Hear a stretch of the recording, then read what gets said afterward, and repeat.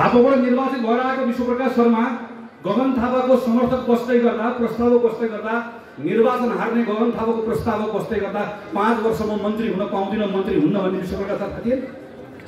तपाईँको तनहुको प्रदीप पौडेल जो काठमाडौँ निर्वाचित भएको छ गगन थापाको समर्थक बस्दै गर्दाखेरि मुखमै आएको नयाँ बन्ने सरकारको मन्त्री हुने अवसरबाट म वञ्चित हुन सक्छु भन्ने उनलाई थाहा थिएन?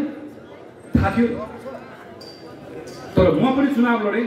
विश्वप्रकाश प्रदीप पौडेल बद्री लगायतका थुप्रै साथीहरू म नाम लिन्न मेरो वरिपरि नदिनु किन पार्टी हो यो पार्टीभित्र यो पार्टीभित्र हामी छौँ पार्टीभित्र बाँधिएका छौँ पार्टीभित्र सङ्घर्ष गरिरहेका छौँ पार्टीभित्र लडिरहेका छौँ पार्टीभित्रको निरन्तरको सङ्घर्षबाट यहीँभित्र बदलाव ल्याउँछौँ यहीँभित्र परिणाम ल्याउँछौँ एउटा सांसद बन्ने कुरा वा एउटा मन्त्री बन्ने कुरा म बन्ने कुरा म म बाहेक अरू कोही छैन भन्ने कुराको लोभ भएको भए आज शेरबहादुर देउबासँग संसद दलको नेताको चुनाव लड्न म जान्न थिएँ।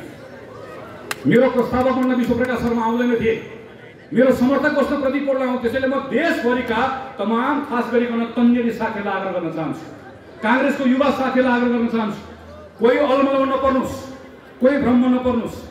यहाँ विषय पार्टीको नेताको होइन यहाँ विषय तपाईँको हो यहाँ विषय मेरो हो यहाँ विषय हाम्रो लडाइँको।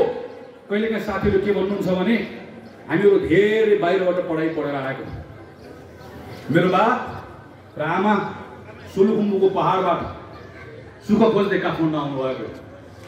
आमाले पढ्न पाउनु भएन बाले पढ्नु भयो हामीलाई पढाउनु भयो। यति वर्ष विदेशमा बसेर यो गरेर आएको। मैले यतिको जागिर छोडेर आएको भन्नु पनि मलाई भन्न मन लाग्छ मैले त जागिर नखाएको तिमीले त खाएर छोडेर आएको। मलाई त भन्न मन लाग्छ। तिमीले त जागिर खाएको घर बनाएको पेन्सन पकाएको भने आएको।